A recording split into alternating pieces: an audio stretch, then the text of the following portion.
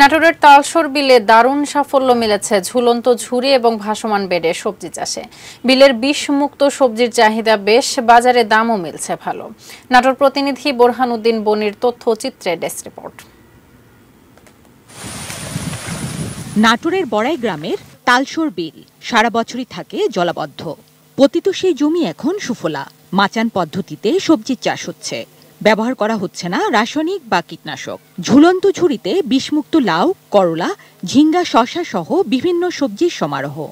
আমরা এখান থেকে লাভবান হচ্ছি এবং আগামীতে এর চাইতে বেশি লাভবান হওয়া যায় বলে আমরা আশা করি। এখানে আমাদের কৃষি অফিসার কৃষি সহকারী তাদের পরামর্শ নিয়ে তাদের সহযোগিতা নিয়ে আমি ফসল ফসলটা ফলাচ্ছি। এখন মোটামুটি ভালো ফলন পাচ্ছি। দৃষ্টিনন্দন এই দৃশ্য। নতুন ধরনের চাষ দেখতে আসেন দূর দূরান্তের মানুষ। তারাও আগ্রহী হয়ে উঠছেন মাচায় ঝুলন্ত পদ্ধতির চাষাবাদে। আমাদের এই আবাদ অনেক দূর দূরান্ত থেকে লোকজন আসতেছে দেখতে।